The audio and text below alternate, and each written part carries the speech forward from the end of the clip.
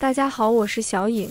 随着生活水平的提高，虾渐渐走进我们餐桌上一抹最耀眼的明星，越来越受欢迎。虾可以说是一种营养极其丰富的海鲜佳品，不仅富含优质蛋白质，还含有大量维生素、矿物质和健康脂肪，对于维护人体健康有着积极的作用，尤其适合老人和孩子食用。我们用虾做菜的时候，大部分朋友都习惯性的把虾头掐掉不要，只有白灼的时候才会留下虾头。但是好多朋友私信问我，问这个虾头可不可以吃，还是直接扔掉？那今天就给朋友们详细讲解一下，那虾头里是虾膏还是虾屎，到底能不能吃呢？首先我们来看一下虾头，这一个尖尖的，这个是虾腔。像这样的部位，我们要用剪刀把它剪掉，不要，一定要处理干净，在清洗的时候就不会被虾扎到手了。挨着虾腔的这一个位置是虾胃，这里边有一个黑色的小点，我们用剪子把它挑出来，这个就是虾胃了，里面储存大量的寄生虫和泥沙，这些是虾无法消化的东西，非常的不干净，所以处理虾的时候。这个部位也是必须要处理掉的。下来这里有个黄色地方，这里是虾膏，肯定很多朋友对这个虾膏有误解，就觉得这个可能是虾屎，其实不是的。如果朋友们挑选的是公虾的话，是没有虾黄的，只有母虾才会有虾黄。现在为了方便大家看得更仔细，我们先把虾头这一部分的虾壳给去掉。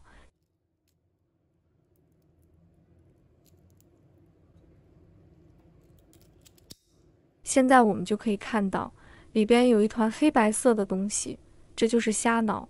一般这是不能吃的。这里面是虾鳃，这个虾鳃也不能吃的。头上的这一个位跟虾鳃，虾脑是不能吃的。虾脑连接着的就是虾线。如果我们平时买的是大虾，都会把虾线挑掉，但是我们还买的是小虾，不会去把虾线挑掉。虾脑连接着的就是虾线，我们可以一并去除。这个为你轻轻的给它挑起来，然后它是连着这个虾线的，轻轻的扯出来就可以了。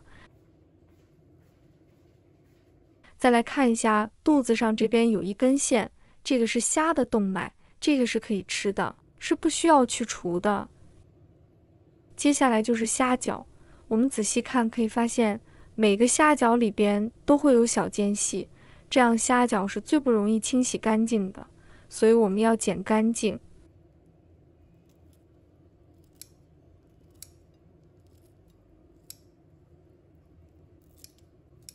朋友们吃大虾的话，就知道怎么处理了吧？就是这样子，就特别的干净，而且虾头就可以吃。像这样一只虾就被我们处理的非常的干净了。把虾放入碗中，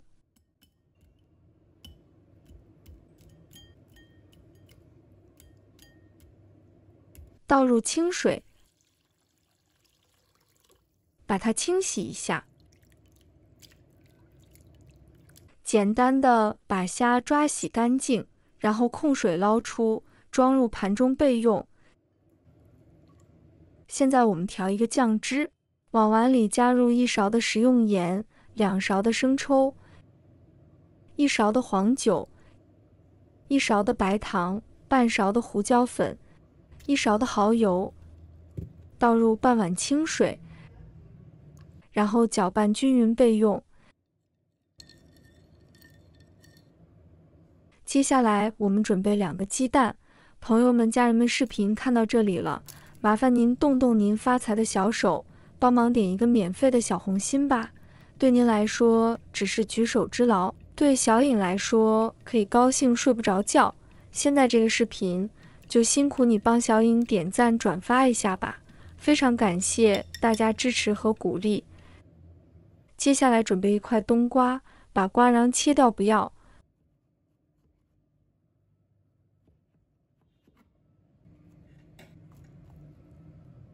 冬瓜皮也切下来不要。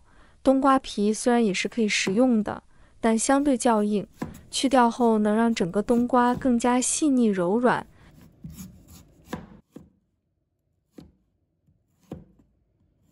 这块冬瓜有点多，怕不够吃，所以半块就够了。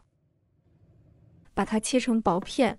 冬瓜具有清脆爽口的特点，而虾肉则鲜甜弹牙，二者结合后，不仅能带来丰富的口感变化，还能让整道菜肴更加鲜美可口。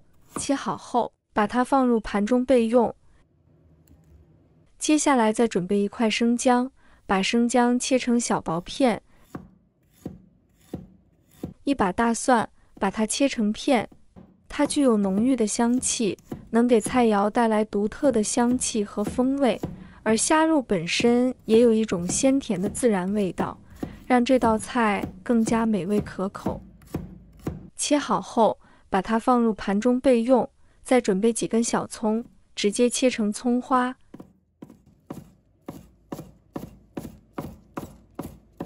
切好后，把它入盘中备用。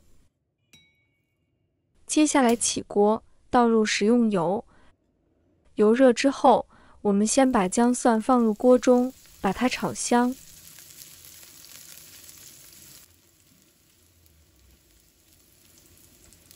炒香后，再把冬瓜片放入锅中，放继续翻炒。把冬瓜从白色炒成透明状之后，把冬瓜放入砂锅里。然后用筷子铺均匀，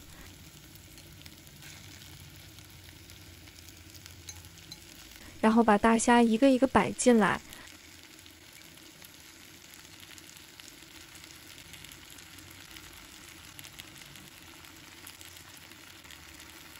把所有的大虾都摆进来，再把调好的料汁也加进来，盖上盖子，开中火焖三至五分钟，把冬瓜煮出味。